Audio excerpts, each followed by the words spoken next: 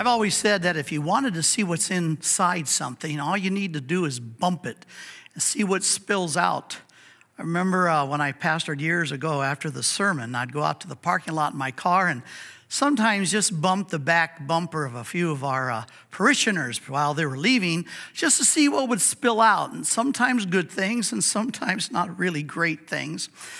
Well, this pandemic, this uh, COVID 19, this has been a big bump for all of us. And for a lot of people, it's bumped out and spilled out some really good things. And for others, and I think for too many, it has spilled out a real, real fear. Uh, you see it all around you. And, and, yet, there is something that I've been observing over these last, what, four, five, six months that I, I feel is very interesting, and it's this. This pandemic has really caused people to slow down and begin to ask themselves some questions about life. The Apostle Paul, in his last will and testament, this is the last thing he would write, and he writes it to his son of the faith, Timothy, and basically he goes there. He, he wants to talk about, as he comes to the end of his life and writes this last letter of Second Timothy, he basically wants to answer the question what makes for a significant life? I mean, a life that can be remembered. Uh, it, it bothers me that I cannot remember much about my grandfather, all my grandparents. Well, three of my grandparents died before I was born, and, uh, and uh, my grandmother, she died in 1951, and I was only about a year old at the time. So I didn't know my, my grandparents. Uh, but I, I, knew my grandfather's name, Aristide Delhousaye from Louisiana. And, and, and then I knew a little bit about my grandfather, my great grandfather, but, but that's it. And I, I really wonder what kind of men were these and what was their life really like? And then I start my finding that, you know, really my deepest worry is that will I live a life that has such meaning that it will be meaningful enough, useful enough to be remembered? uh, if from no one else, at least from my own family, my own children, grandchildren, and maybe, who knows, my great grandchildren. That's the only reason I've written some books and put them in a safe deposit box uh, so that maybe one day they might remember old Pops. Uh, uh according to my granddaughter, Sugar, and uh, my grandsons call me Pops. When all six are together, they refer to me as Sugar Pops. But other than just the cutesy name, I hope they remember something about my life because I want my life print to be something more than a shallow heel mark in, in the mud. So, so during this time that we slow down and we start asking ourselves questions about life, we begin to ask ourselves questions about the meaning of our life, significance of our life. Will there be any remembrance of our life? I mean, have you ever met anyone who said that their life goal is to be useless? I don't think so. And, and, and so everybody is trying to live their life in such a way that it's useful in some way. So many people put their hope, it's going to be in sports or education or wealth or music or success or maybe just being part of a, a great family. But here again, I want you to open your Bibles with me to 2 Timothy, Paul's last letter here in chapter 2, and listen to what he tells his son in the faith about living a, a, a life. Again, if this world's gonna bump you, what's gonna spill out? Hopefully, meaningful, successful, significant life that's gonna be remembered because of the footprint you left, not just by your own family, but maybe by others as well.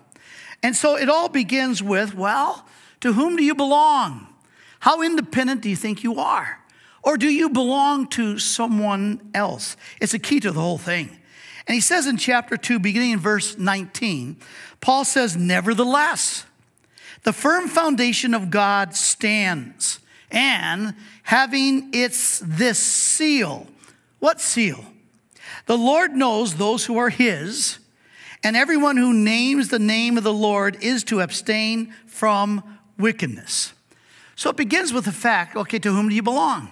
What, what do you belong to? And Paul mentions this firm foundation. Now, what is he talking about, this firm foundation? The word firm means you can't fall off it. It means you will remain standing on it. You are secured. You're safe upon this foundation. So, what is this foundation of God? Well, Paul had clarified that in his first letter when he called the church the pillar and support of truth. The church is this foundation, it is his church.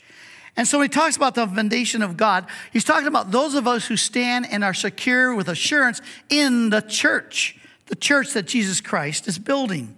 And the seal that he mentions refers to an ancient practice of placing an inscription on the foundation stone of a building to indicate ownership.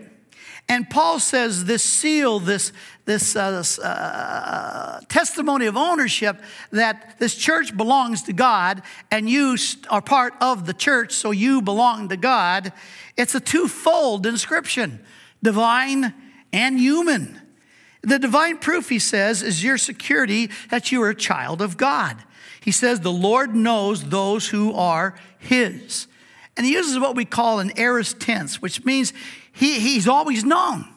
The most mysterious verse in the Bible has got to be Ephesians chapter 1, verse 4, where it says, Before the world was, before creation, God knew those who would be his own, those he would electos, that he would choose to be his own, those who would respond. And maybe, I don't know, in his omniscience, in his all knowingness, in the remarkable sovereign mind of God, God looks at the future as the present and he knows how things are going to turn out. And based on that knowledge, I believe it says that he, he knew, he's always known you're going to be part of his church. As a matter of fact, in John chapter 6, verse 37 to 40, uh, it's Jesus who says, No one comes to me unless the Father draws him. For the prophets say, They shall learn of me, recognize who I am by virtue of the Father in heaven. You, you see, you didn't figure Jesus out. Uh, uh, that's why you have people who are brilliant who believe in Jesus Christ. You have people who are brilliant who don't. You got people who are num-nums who don't believe in Christ and those who, who do. It has nothing to do with how bright you are or how num num you might be, but rather, he says, based on the heart that God sees, it is the Father who causes you to recognize that Jesus, this little Jewish rabbi 2,000 years ago, what about five, six? He's God in a bod. I mean, that's the most impossible thing to believe. And yet, it's the Father who caused you to, as Jesus put it, learn of me, recognize who I am.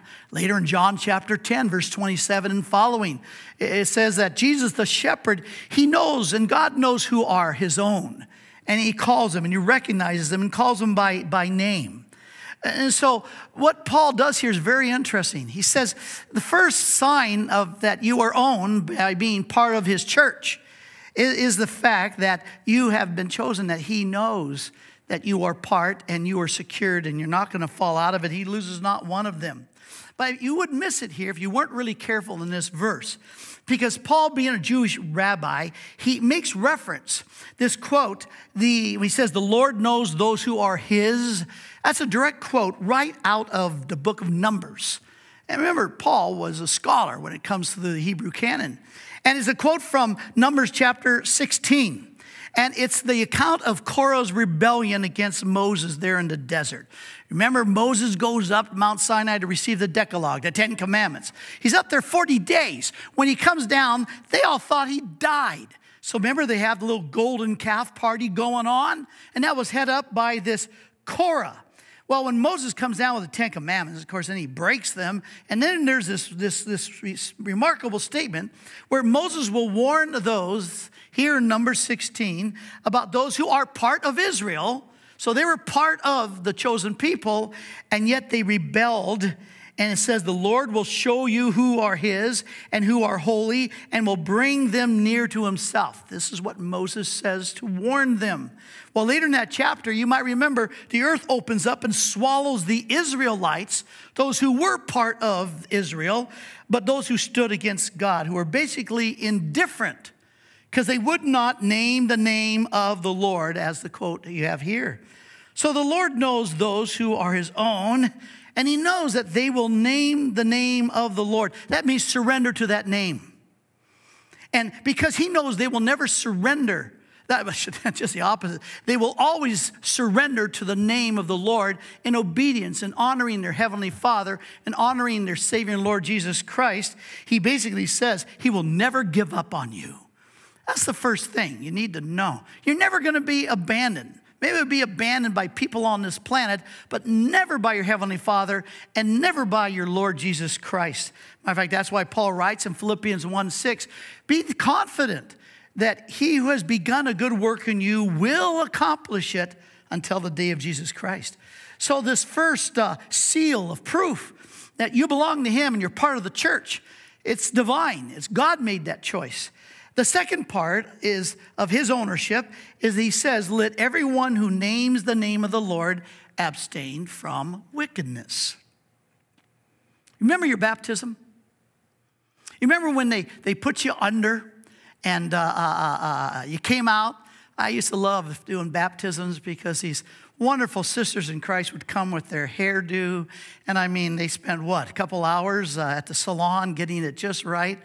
And then I had the great privilege of baptizing them, bringing them down. And in the name of the Father, Son, Holy Spirit, bringing them up as they look like a wet rat. But, you know, pray for me. I have a weird sense of humor. But remember at your baptism, it was a, your obedience to the first command of Christ to those who would be in this foundation, in the church. And now he says, as you go into this world, make disciples. And the testimony of one who's become a mathetes, a follower of Christ, part of the church, is this declaration they will be baptized into the name of the Father, Son, and Holy Spirit. That phrase, into the name, was actually an economic, a, a, commercial phrase for the purchase of something, and it comes under your ownership. In California, where I grew up, when you bought a car, you would get the pink slip. And, and the pink slip was simply that record to show that you, this car, was now under my ownership. That's exactly what you did at your baptism. You publicly declared as a disciple of Christ. You were baptized into the name, into the ownership of the Father, the Son, and the Holy Spirit. And so, therefore, your heart was changed when you surrendered to the name of the Lord, believed the gospel that God loves you, but you've turned your back on Him. See, the greatest expression of hatred is indifference. And when we live lives that are independent, indifferent from the one who created us, that's what the Bible calls sin. It's a sin unto death, separation from God. And yet, God, because He loves us, He provided the provision, His own Son to receive the judgment of God for my sin on himself on that cross 2,000 years ago. And that if I surrender in repentance and just tell the truth, I'm a sinner and I need forgiven. You can't forgive somebody who doesn't believe they've ever done anything wrong. And so, how could God apply the sacrifice? How could Jesus apply a sacrifice for the forgiveness of your sin unless you own up that you need that forgiveness? And that's what repentance is all about.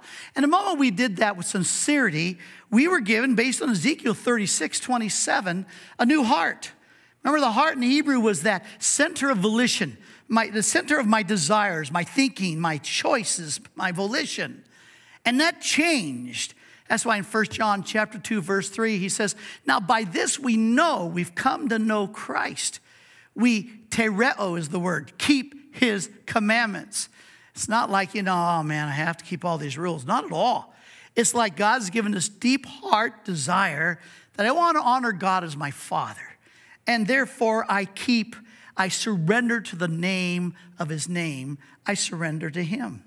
So he says, Those who have abstained, uh, that is, those who have come and surrendered uh, to the name of the Lord Jesus Christ, he says, the sign that they can be assured is not only what the Father has said, but they abstain from, notice he says, they abstain from unrighteousness or wickedness. This word wickedness is the word adiakes, and, and it means basically unrighteousness. It's the essence of hypocrisy. See, remember, when you came to Christ, your relationship with changed with God. See, you were born a creature with a creator. But when you came to Jesus Christ, you're no longer a mere creature, you became a child. Remember in John 1:12, as many as believe in the Lord Jesus Christ, to them God gave them the authority to become the children of God. In 2 uh, Corinthians chapter 6, verse 18, 19, remember that the uh, Paul says, God says, I am your God, but I'll be a father to you, and you'll be sons and daughters to me. Well, the essence of a heart of a son and a daughter is they have a deep desire to honor their father, especially when their father's been so loving, gracious, and merciful. And, and therefore, who am I? I'm a child of God. I, I'm, I'm a son of God with Heavenly Father with a deep desire to want to honor my Father.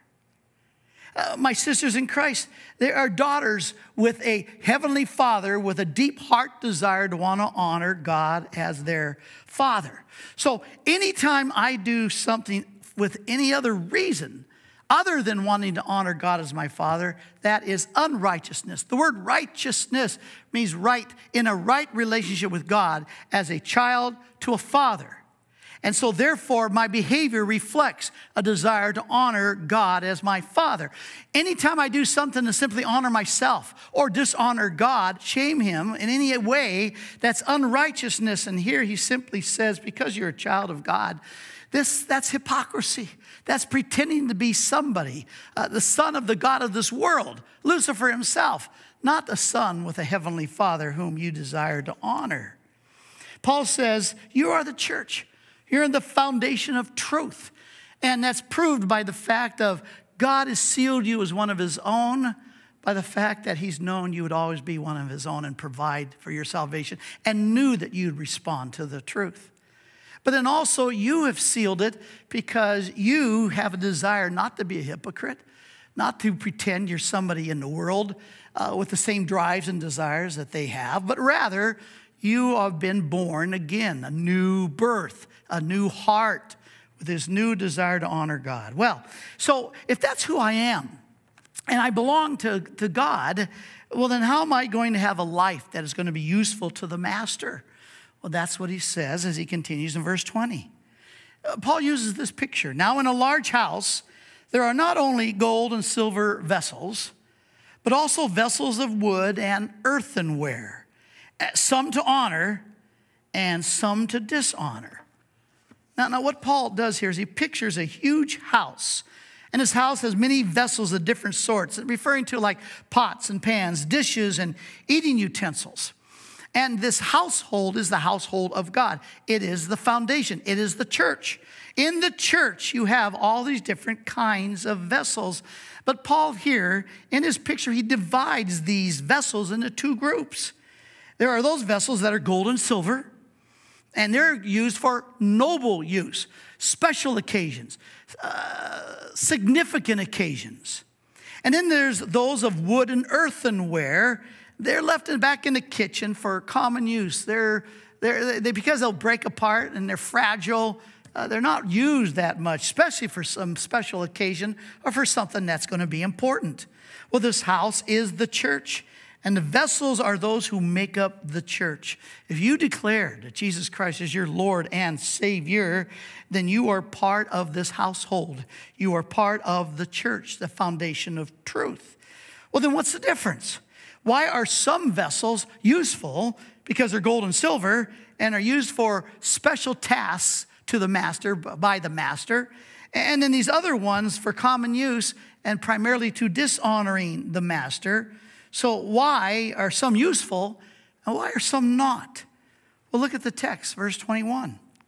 Therefore, if anyone cleanses himself from these, he will be a vessel for honor, sanctified. Here it is useful to the master, prepared for every good work, every important work, every significant work.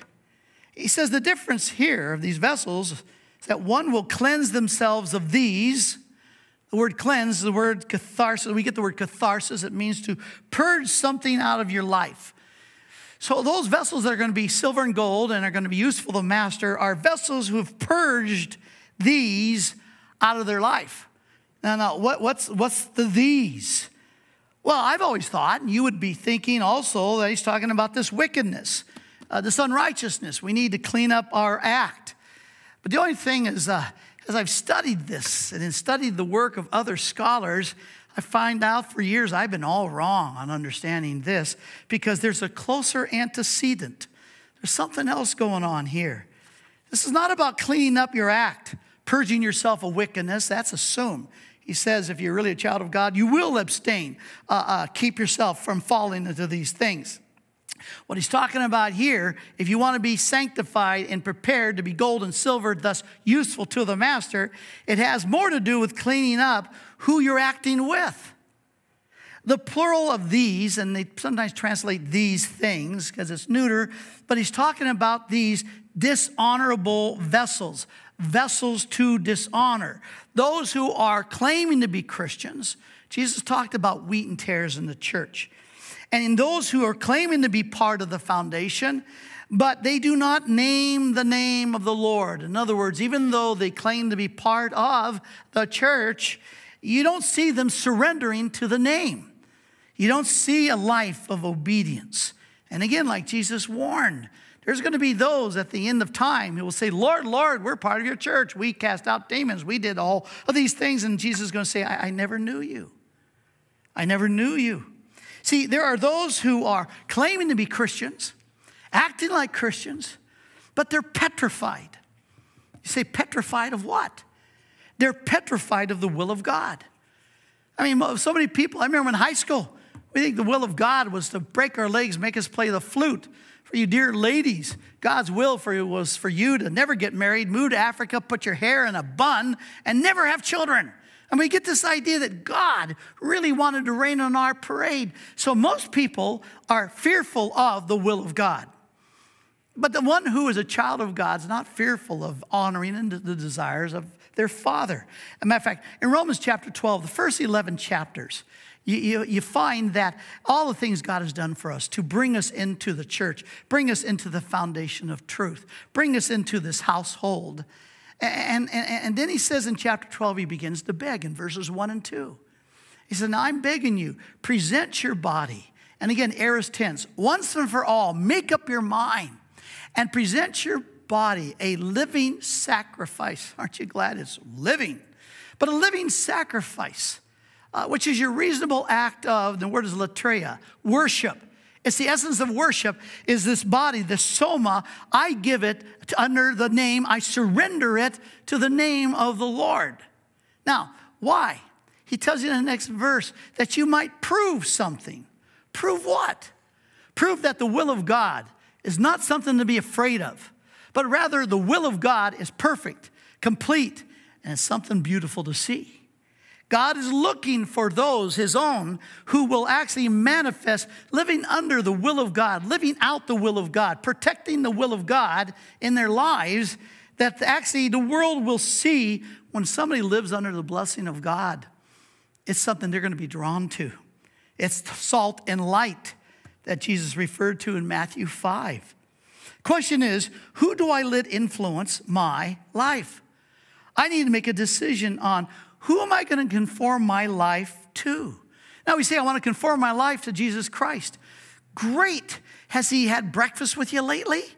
I mean, who is indeed little Christ? Who's reflecting Christ? It's those who are in the church. So remember, Paul made it very, very clear in, in, in 1 Corinthians 11 1. He says, All right, imitate me. The word is mimites. Imitate me as I imitate Christ says the same thing in Ephesians 5:1. Paul says, "When you follow me, follow me, imitate me, act like me and you'll be acting like Christ." You see, Christ is formed in us and he uses other Christians to give us that uh, ability to observe and therefore to become more like Christ. You know, neuroscientists, they've actually discovered in the brain certain kinds of neurons they call mirror neurons. That is part of the way God has designed our brains and created us is that when we see certain things, there's elements in our brain that causes us to imitate. But we have to see certain things to be able to imitate. We cannot imitate that which we cannot see, nor have an opportunity to see. And here he's saying, who are you going to be looking at on a regular basis with your mirror neurons that's going to cause you to want to be more like Christ? Say, what about unbelievers? Aren't we, aren't we supposed to reach out to those who are unbelievers? Absolutely. At least an unbeliever will admit he's an unbeliever. But remember what Jesus said in John 17. We are to be in the world, but not of the world. I mean, we got to give them something to see, and that means I need to be useful. My life needs to be changing. And if my life changing depends on me watching others around me, then I've got to answer the question who will I let influence my life? Who are my heroes? Who am I pursuing? Who am I watching their lives? Because the opposite's dangerous. Remember, Paul said in 1 Corinthians 15 33, do not be deceived. Bad company corrupts good morals. You're going to be brought down. If all you have around you are hypocrites, vessels of dishonor, vessels indifference to any surrender to the name of Jesus Christ in their home, their behavior, their hobbies, their sports, their economics, their language. See, you will rise or you will fall with them. We will be influenced by each other and those that we pursue as intimate friendships. Solomon put it this way quote, He who walks with wise men will be wise, but the companion of fools will suffer harm. Paul says, You want to become useful to the master, thus have a meaningful life, so that your life is going to be remembered even when you're gone by even those beyond your family. Well, he says, then the choice is who am I going to let be examples for my life? In 1 Peter chapter 5, the first three verses, Peter says, Now, as a fellow elder, and he says, Let me speak to you, elder, shepherd the flock. And when he tells them he's how to shepherd the flock, he says, Don't do it for sordid gain. Don't, don't do it to lord it over them. Uh, uh don't do it under compulsion. You go, Peter, okay, I know how not to do it. How do I do it? And he says just one thing be examples to the flock. So you go, be examples to the flock. Okay, what's number two? There is no number two. Well, what's number three? There is no number three. There's only one.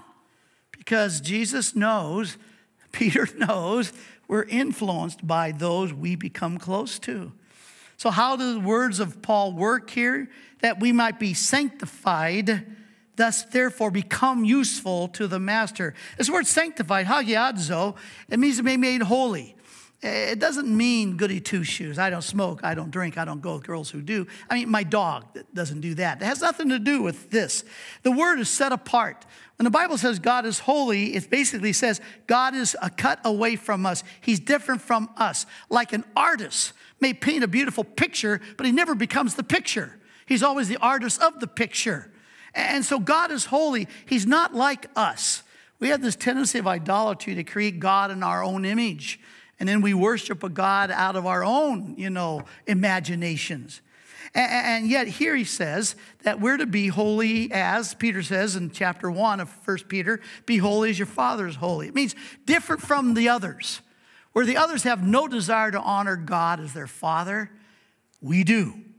And this desire to be set apart in that our deep heart desire is to honor God as our Father, not to honor ourselves or anyone else he says this happens when you are having those people in your life who are vessels of gold and silver and they're being used for something significant in your life to bring sanctification to you. How do you think it works?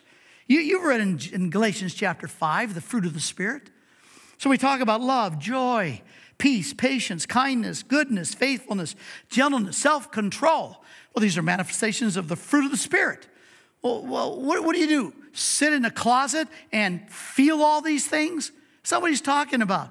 He had just talked just prior few verses before about walking in the flesh or walking in the spirit. These are all relational. And therefore, they will affect me in a relationship. I experience the love and I experience the joy and peace and patience. I experience kindness I experience goodness and faithfulness and gentleness. I experience self control through you. As I'm with you, and the Spirit of God in you are manifesting these things relationally to me, my spirit is ministered to. And I get a good look at what Christ looks like, feels like, what the experience of Christ likeness is, and that changes me. And that is part of what he's saying here. Why? We've got to be careful. Who are we going to be pursuing as our close relationships? Who am I going to let influence my life? You see, he says, because if you are therefore changed by the way these silver and gold vessels in the church uh, influence you, he says, well, then you're going to be prepared for every good work. The word good means significant, important, high quality of well being. You know, Psalm 139 that says, David reflecting back, he says, The days are ordained for you have already been established when you're mother's womb.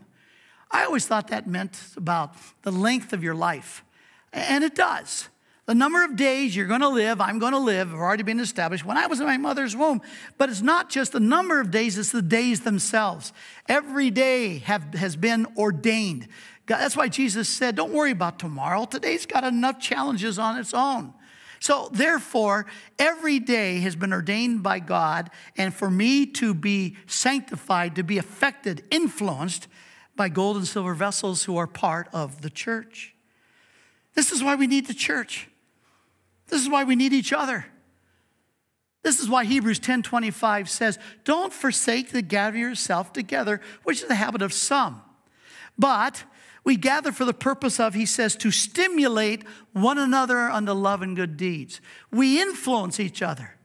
So, am I going to have the vessels of gold and silver influence me so I become more like Christ? Because God always honors, always uses the greatest likeness to his son. Or am I going to be running around with people who are hypocrites, who, who may name the name of Christ, but you see no surrender to his name in their lives?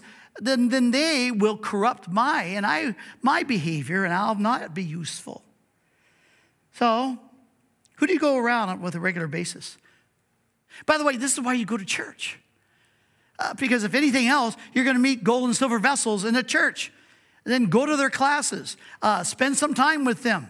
Uh, hopefully, your pastor's at least a gold or a silver vessel. If he's not, you need to go to another church because at least on a weekly basis, you can be influenced by at least the one, your pastor. And that's why we gather weekly as often as we can in the church. That's what we're looking forward to having you come back because all you can really do now is respond to what's being said. But it's so much better to respond when we can see each other and talk to each other, have conversations with one another. And so it boils down to this. From time to time, God's going to pull out certain vessels, gold and silver vessels, and, and He's going to use them for some very special, important ministry. And if you're hanging around them, just maybe you might get invited along. And thus, this is the Word of God. Heavenly Father, I would pray. May we always realize, of course, we reach out with love to anybody around us. People will know we are your disciples, Jesus said, by our love for one another. So, Father, this does not stop us from loving anyone. This is more personal. This is who are the people that I'm going to let love me dearly? Who will be the people who will become my heroes? Who will be my mentors? Who will I pursue as examples for my Christian life? Lord, who will I learn by watching their lives and experiencing the fruit of the Spirit produced by the Spirit in them, touching my spirit, changing me, sanctifying me, so that my heart has even a deeper yearning to be like Christ? And Lord, like I said, I've seen you always use the greatest likeness to your son. I know I want to be useful to the master. I want my life to count. And during this time of this pandemic, if it has caused me to slow down and reflect on what's important, then I'm even grateful for the COVID 19 and this series, this, this, this season of indeed sadness, but sadness moves us to reflect. And Lord, we reflect on you. Lord, I offer this up to you and to my brothers and sisters in Christ as the teaching of the Word of God. In the name of Jesus Christ, amen.